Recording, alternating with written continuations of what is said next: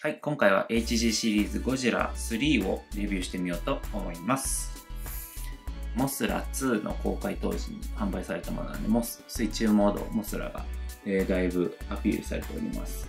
でこの頃はまだ水中モードモスラと言われてますが、なんか最近出たガチャガチャではアクアモスラとか呼ばれるようになりました。モスラ2ですね。で、次に、えー、96年に公開されたモスラのモスラですね。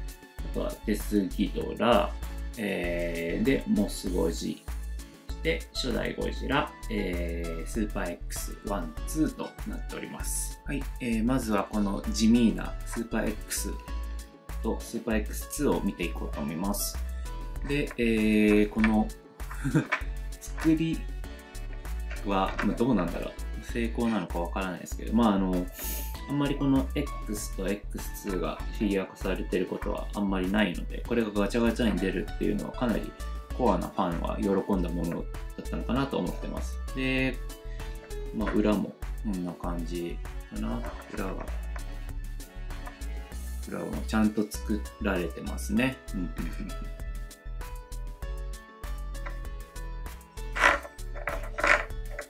まあ、なんでこれはあの平成ゴジラシリーズのに出てきたあの、えー、この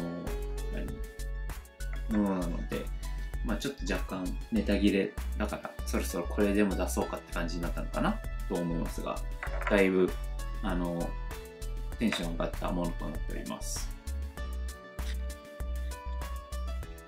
はい次がこちら初代ゴジラとなっております。えっ、ー、となんかこれ一旦こう見ると、こう見ると、そのでも、ゴジラ、初代ゴジラに見えなかったんですが、まあ、初代ゴジラと書いてあったんで、そういうものなのかなと思って、えー、受け止めておりました。が、えっ、ー、と、ちょっと、あのー、あ、腕がちょっと。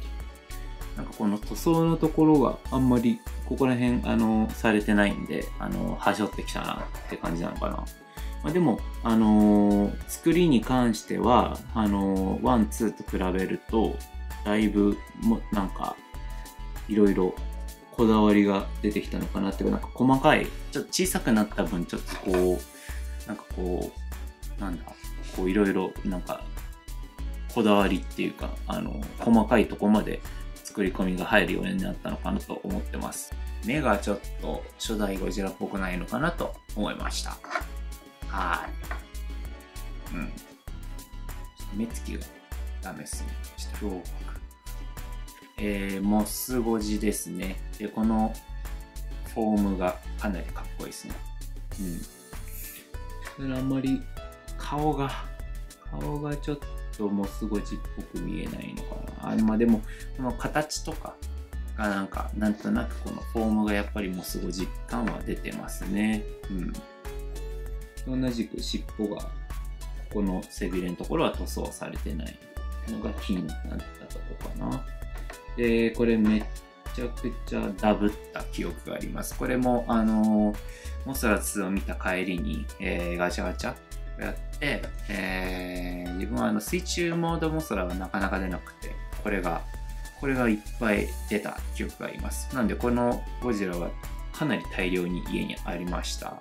が、まあ、残りは全部メルカリで売りました。はい。はい、次がモスラ96となっております。これは、あのー、映画モスラに出てくる新生モスラですね。なので、あのー、屋久島のパワーを、屋久島の杉の日か。屋久島の杉の日のエナジーを吸い取って、なんか緑色っぽくなったのかな。なんか緑々しい感じのモスラでしたね。裏の塗装はちょっと、ちょっとだけはしょってますね、これは。うん、はしょられてる。で、まあ、なんかこのモスラはすごい綺麗だなって、なんか、思っておりました。今までのモスラとはまた違う色彩をつく、今、緑とか入れてこなかったんで、緑とかブルーとか、あ、ブルーがない。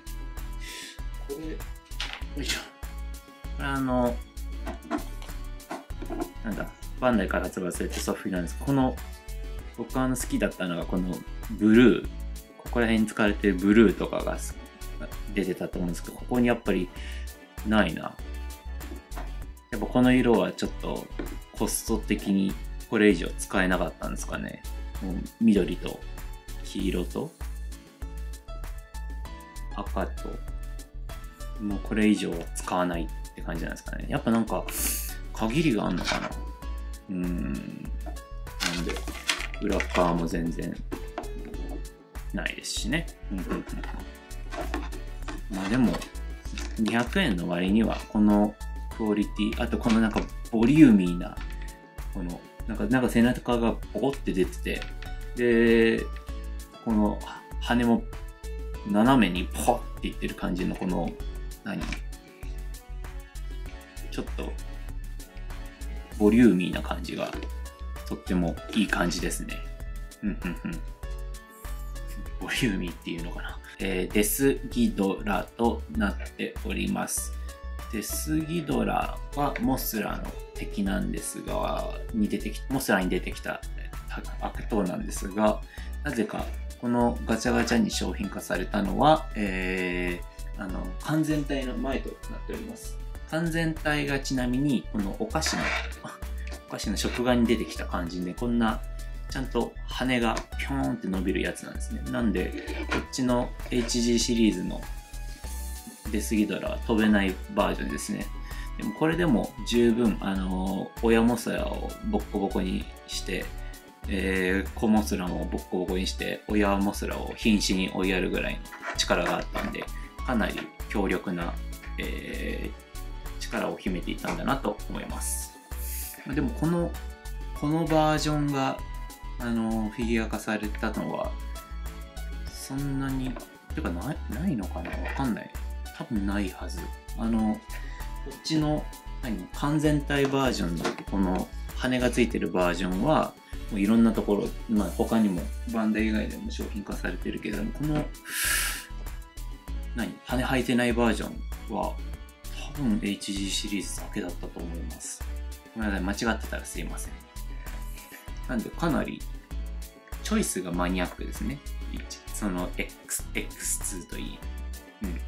ラストが、えーこの水中モードモスラなんですが、えー上から見るとかなり、何かっこいいんですが、かっこいいんですが、横から見ると、なんか、ウィンフィンって感じですね。なんか、この、ひなーっと、かもう、飛べない蝶々みたいな感じですね。ちょっとこれが悪いのかなちょっと普通に、もうちょっとこれピンと伸ばせばいいのかなでもこの塗装も、この裏側、羽の裏側とかも、あのーなんかケチってる感じで、あまり自分は好きじゃないですね。最近出た、えー HGD プラスの水中モード、えーアクアモスラの方はすごいかっこいいんですけれども、このモスラ2、表紙を飾ってた割には、モスラ2のこの水中モードモスラ、表紙を飾ってた割には、大して、えーうん、いけてないなと思いました。ただこれが欲しくて、何度も何度もガチャガチャをした記憶があります。で、ここでも、なんか、この水中モストラもここら辺確かこの背中とかここら辺確か水色だったんですけれども、さっきのモストラ96と同様に、あの、そこの塗料が足りなかったんですかね。その色だけは、この、ここでも出せてないですね。残念。うんうんま、当時はこれかっこいいと思ってたんですけれども、なんか今頃見るとそうでもないって感じですね。残念。はい、これで HG シリーズゴジラ3のレビューは終了です。はい、ありがとうございました。